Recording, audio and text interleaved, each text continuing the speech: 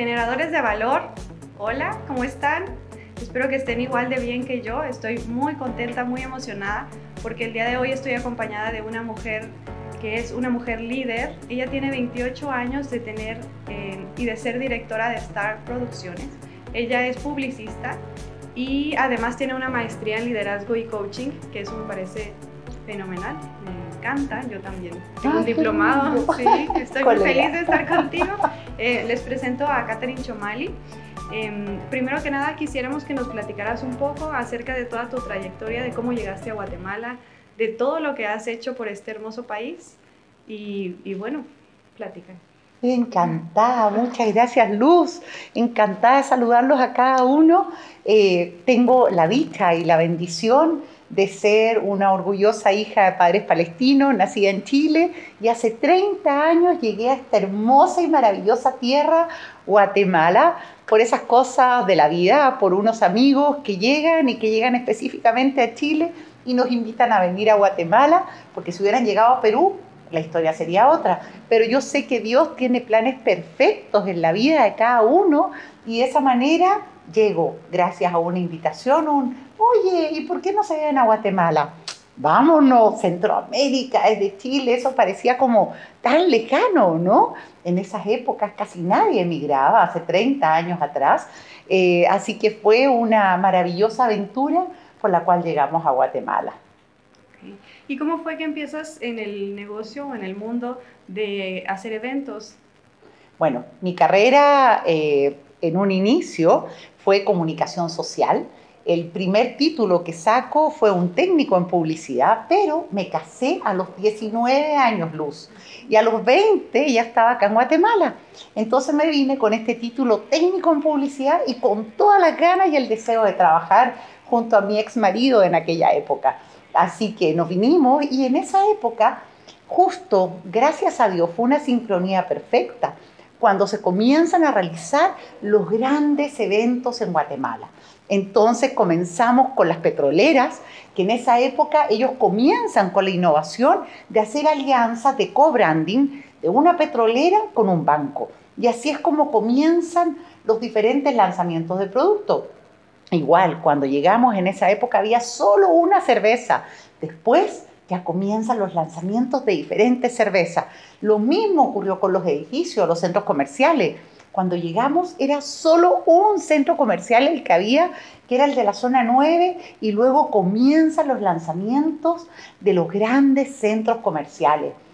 Todos eventos que han sumado al desarrollo de esta Guatemala de la cual yo me siento dueña. ¿Por qué? porque sigo parte de ese crecimiento y esa historia de desarrollo del país. ¿Y qué es lo que te apasiona? ¿Qué es lo que más te gusta hacer? Porque yo veo que tú eres una mujer que pones todo tu esfuerzo, todo tu amor en todo lo que haces. Y, y también veo como mamá, como directora, como coach, ¿Nos puedes platicar qué es lo que más te gusta?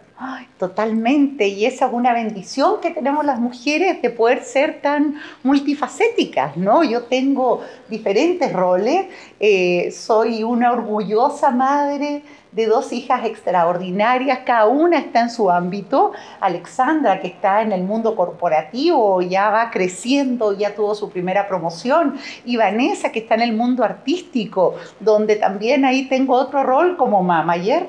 Eh, gracias a todos los años y a la historia en Guatemala de haber sumado a cada uno de los eventos de lanzamiento, sumando al desarrollo del país, también empecé a sentir en mi corazón y sentí la necesidad de poder sumar a Guatemala. ¿Por qué? Porque Guatemala es un país tan rico, tan rico, pero tenemos grandes desafíos y grandes dolores. Uno, el tema de la desnutrición crónica. Guatemala es el país número uno en desnutrición crónica en América, en América Latina y eso es algo que no puede ser. Por eso me he sumado a la causa de la desnutrición al tema de las mujeres, sumando a empoderar y a fortalecer ese liderazgo nato que tenemos cada una de las mujeres. Pero ¿qué es lo más importante? Conectarnos con ese poder interior, con creer en nosotras.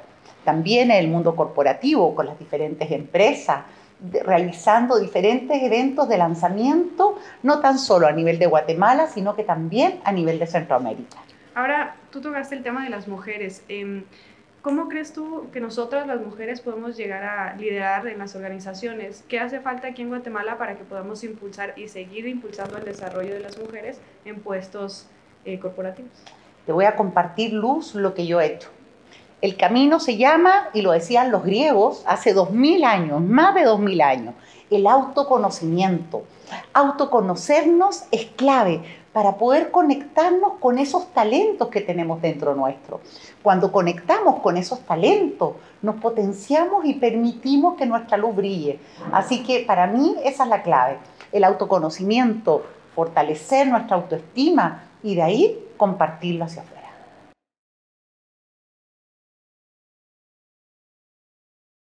Bueno, quisiera preguntarte cómo es que te has capacitado para considerarte una persona innovadora, qué es lo que has hecho y cómo podrías dar un ejemplo en, alguna manera de tu liderazgo que has llegado hasta donde estás eh, para ser una persona innovadora. Bueno, mi querida Luz, te quiero compartir, les quiero compartir a todos que en el año 2019 yo ya empecé a sentir la crisis. Ese año se fue una multinacional muy importante del país eh, y yo sentí el cambio, sentí el cambio económico y dije de qué forma podemos empezar a innovar en los eventos. Ya tenía 28 años haciendo los eventos de la misma forma y yo dentro de mí me sentía obsoleta, sentía que ya se tenía que generar un cambio. ¿Qué fue lo que hice? Formación continua.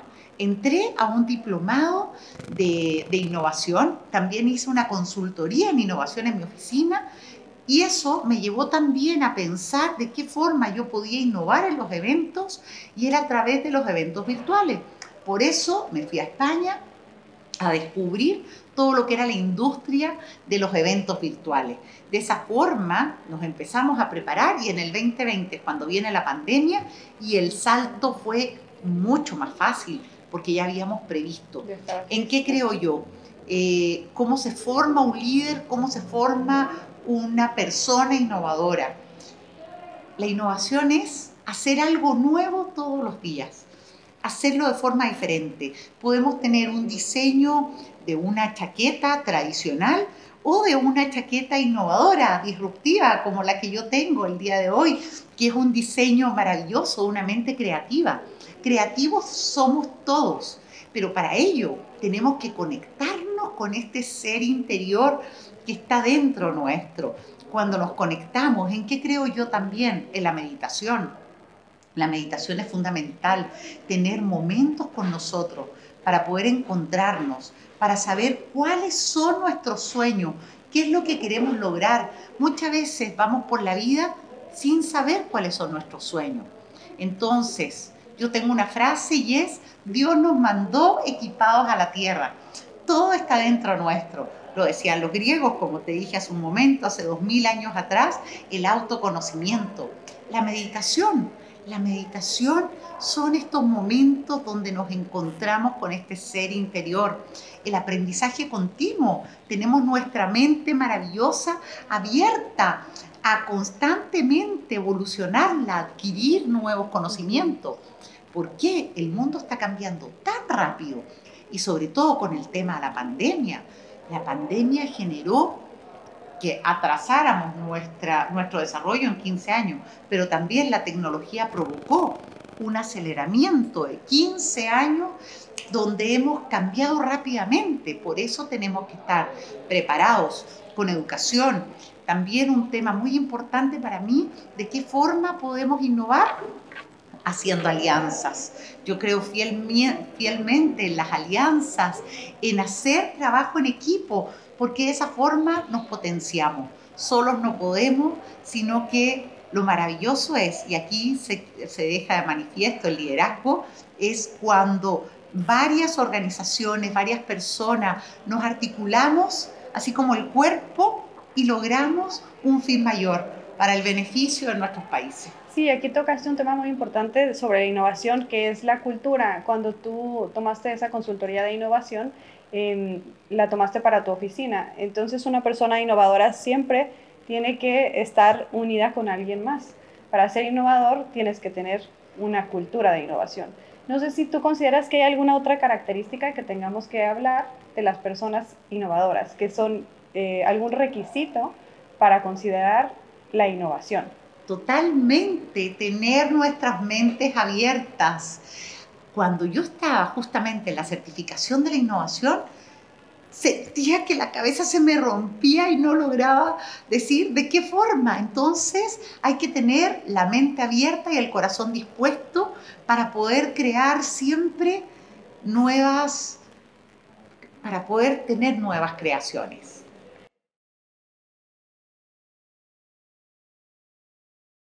Ya por último, me gustaría muchísimo que nos pudieras compartir con tu experiencia em, para todas esas mujeres que, van a ver este video em, y quieren llegar, que están estudiando, que están preparándose. Tú hiciste mucho énfasis que para llegar a donde tú estás, te preparaste, estudiaste, buscaste nuevas alternativas.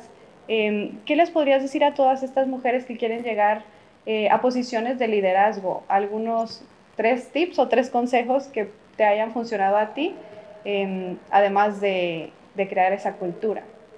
Sí, vuelvo a hacer énfasis en enamorarnos de nosotros mismos. ¿Por qué? Porque primero nos tenemos que conocer.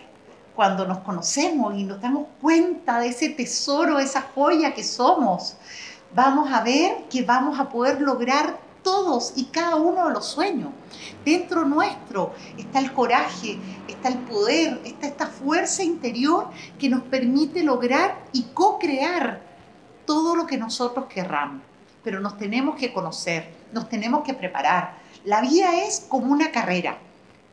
Yo quiero correr una carrera de 10 kilómetros. Para ello, tengo que tener una preparación integral de cada una de mis áreas, a nivel físico, a nivel mental, a nivel espiritual. Algo que yo he aprendido en los últimos años es la importancia del autoconocimiento, que me ha llevado a enamorarme de mí misma. ¿Por qué? Porque he superado diferentes situaciones. Saber que si yo me preparo, voy a estar más preparada para los desafíos que vienen a futuro.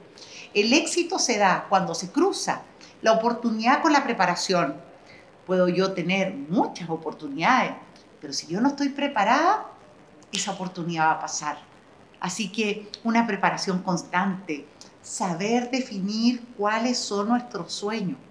Yo creo que eso es clave, aprender y atrevernos a soñar, porque cuando soñamos, todo va en un plan perfecto y se va co-creando. La, la palabra es energía en movimiento. Y eso es algo también muy importante. ¿Qué nos decimos a nosotros mismos? Ser cuidadosos con nuestras palabras. Dios nos mandó equipados a la tierra y todo el poder y todo lo que queremos está dentro nuestro.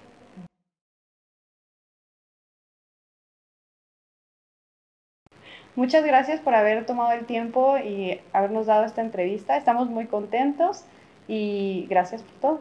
Ay, yo más, Luz. Muchas gracias.